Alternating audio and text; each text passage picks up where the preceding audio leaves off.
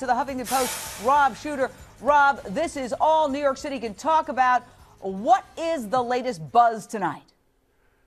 This really is breaking news. The whole of New York is talking about one subject, and this is the subject, Jane. The news is, is that the second lady that you mentioned in your introduction, who had disappeared, we really didn't know where she was. She has turned herself in, and now she is out on a $100,000 bail. So she's back out. She's out in New York City. We haven't seen her since, but she left that courthouse with her head held high like she was was walking the runway at Fashion Week.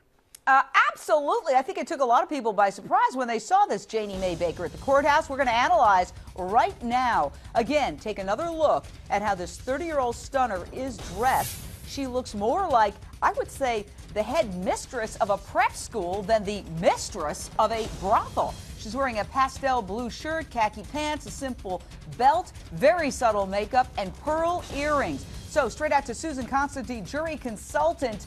What is she trying to telegraph here, and does she succeed?